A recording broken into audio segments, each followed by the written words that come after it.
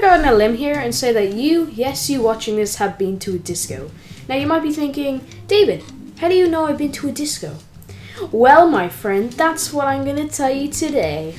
So, you see, YouTube says that the people who watch my videos, like my demographic, is 11 to 18. So, let's get right into the stories. Okay, so, this first story takes place about a year and a half ago. So me and my friends were at a disco uh, in sixth class, and it was like, it, it, it was it was okay. It, it was it was meh. It was okay. I mean, there was some cringy stuff. There was some funny stuff. Like, you know, it was it was all right. People were dancing. I was looking around. Eventually, I actually lost my friends at one point.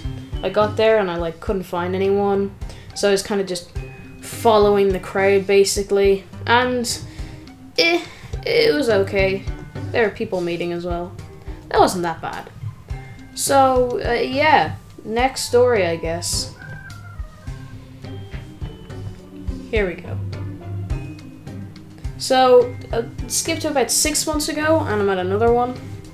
And this one was decent. I went with a lot less friends last time because, like, the previous time I went with like my entire class.